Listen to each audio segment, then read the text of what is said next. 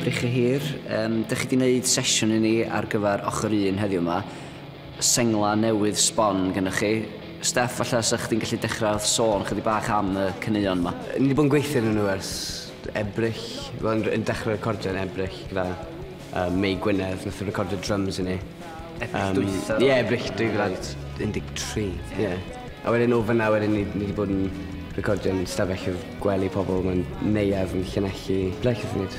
Yn, yn y brifysgol yn Gyrdydd. Brych y hir yn mynd mewn rhyw ffordd neu gilydd ers tua Pedair mlynedd? 2008, 2008. Wedyn, nath i gael ymarfer cyntaf ni yn 2007. Ie, wir. Ydy hwnna'n cyfri y, y band Just Like Frank Ydy. Ie, ie, fel Just Like Frank. So, ni sort of Ni 2010 os, os, os fel, fel, fel brych i hir, ond... Dim ond dau aelod sy'n dal yna nawr. Dau aelod creiddio. E?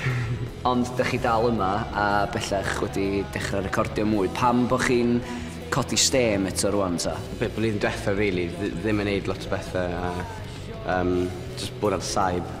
Be fe, haf, haf diwethaf? Nath ni sort of dechrau siarad amdano pethau, nath ni dechrau... Nath ni neud yn exciting eto.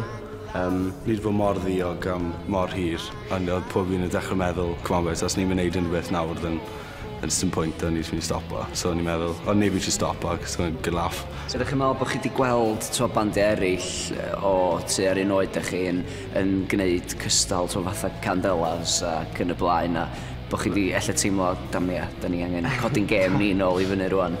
Nethon ni chwarae maes B, ar ôl, oedd bryd o'r bandiau, oedd ni'n uh, headline hwnna'n Wrexham, a tsunami nath ennill. A nawr maen nhw'n, tyd, through the roof. So, um, Ond falle, falle mae'n rhywbeth gadael gadw lan. Dechrau trwbl mwy competitive. Ie, ie, ie. Fe, to, llosgi ceir nhw, llosgi'r fan lawr yeah. felly, so dyn nhw'n methu cyrraedd y gig. Exactly.